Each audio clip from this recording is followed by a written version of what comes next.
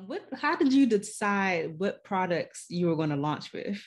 Did you poll the audience and stuff, or you just? I did. Well, I I kind of had an idea, but I did a lot of research in regards to to speaking to women, um, research, poll surveys, just asking what do, what does a routine look like, um, and amazingly, I found that, you know, cleansers and toners, just basics people still had questions about what to use. I don't understand, you know, what are serums? What are face oil? I am I supposed to use them all?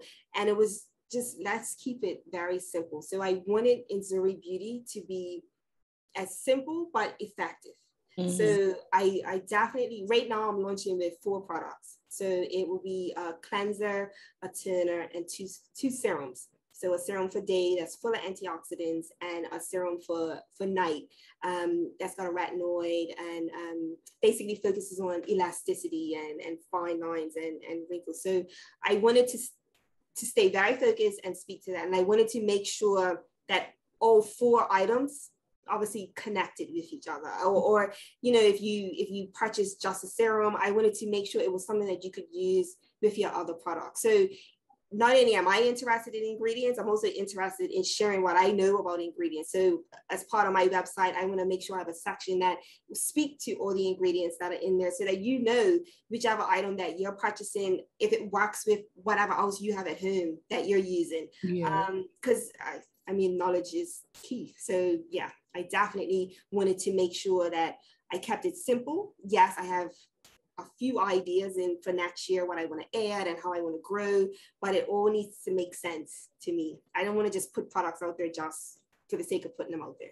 Right, right. And I love that you said that too, because I, I do know that a lot of people have this thing like when they launch products, they feel like they have to come out with like everything at one time. But you can definitely start with four or five products and just exactly. add on as you go exactly. And i mean it's also how people shop. Like some people are very um, brand loyal and they'll buy the whole line and just use that. Some people just i just need a cleanser. I'm just going to buy this and test this out for now or i you know i'll do you know two out of the, the yeah people just like to pick and choose as well. So i wanted to make sure the launch i had enough that if you wanted all of them they will, you have them all. So. yeah so I know Enzuri Beauty um, places like an emphasis on holistic skincare. What exactly is like what makes skincare holistic, and why did you decide to go that route?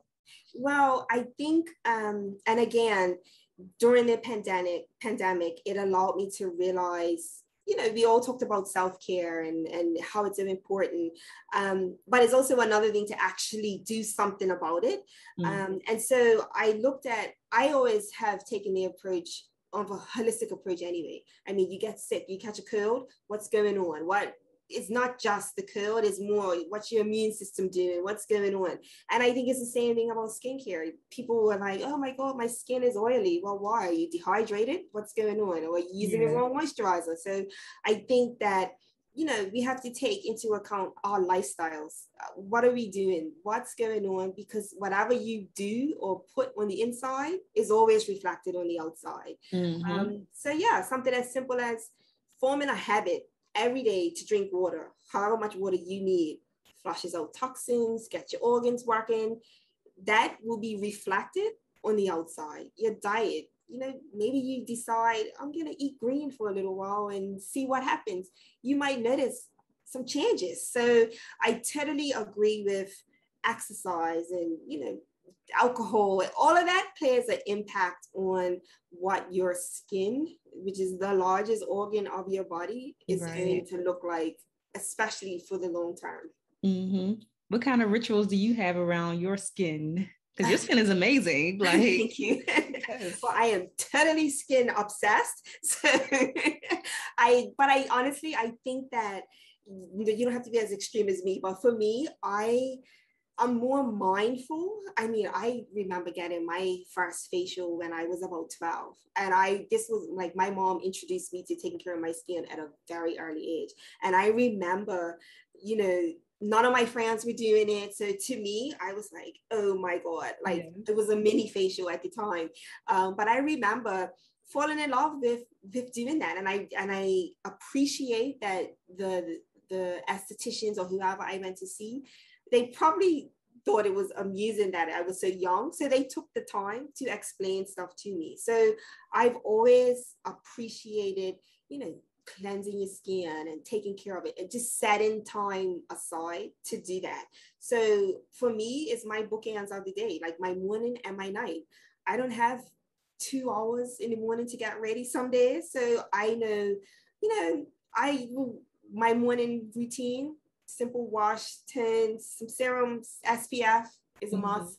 Um, so yeah, I just take the time to on I just what's going on this morning. When I woke up this morning. What did my skin look like? What you know? What do I? What type of cleanser do I need? What do I need extra of as I'm washing my face or as is more the relationship that I have with my skin. I'm I'm literally not rushing through every step, which is what sometimes we do. We wash, yeah. we turn, we do, and we just throw it on and we just keep going, make everything well yeah. I'm just a little bit more mindful.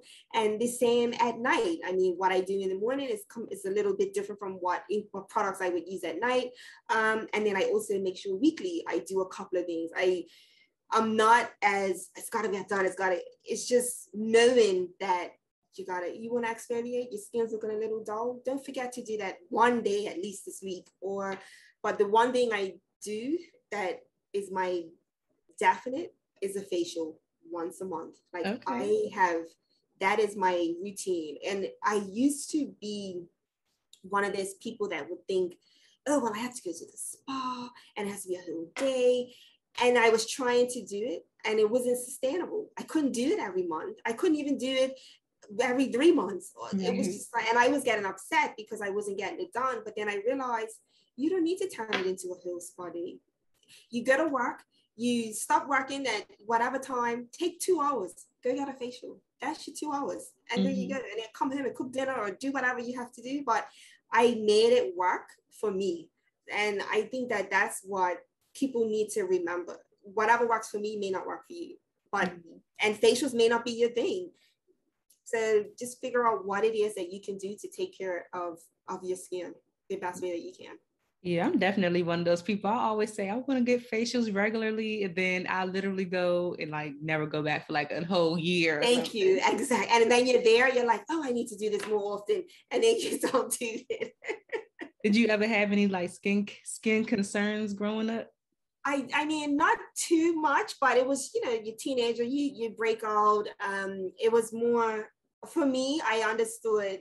I was never one to, you know, you got a pimple, you always want to pop it, you always want to do something immediately. But I realized, oh, well, if I go outside and grab some aloe and just rub that on my face, it will dry it out. Or if I stop touching my face so much. So it was more um, those sorts of growing pains, just learning about stuff, knowing, oh, if I'm putting all this gel and stuff in my hair and I'm working out and I'm sweating and I'm, you know, I'm gonna wash my face because yeah. So it was nothing, it wasn't necessarily um, any, you know, anything serious where I needed, oh, I had, I can say I had acne or anything to that regard. Yeah. But like I said, I, you know, my mom introduced me to a dermatologist when I was in my late teens so that, you know, somebody well, this is what you go to a dermatologist for. And, you know, that's something that you need to do annually if you can get right. skin checked. And so, yeah, it was, it was always, if there was something going on, I learned how to manage it.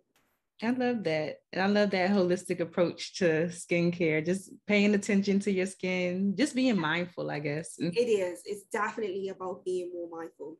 Mm-hmm. How does your professional background help you with developing Enzuri Beauty?